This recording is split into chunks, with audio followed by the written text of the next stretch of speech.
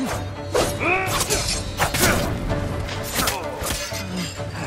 hope you understand.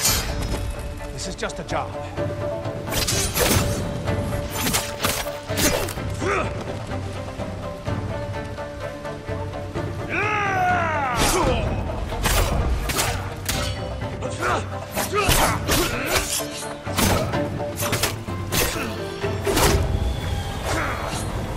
Yeah!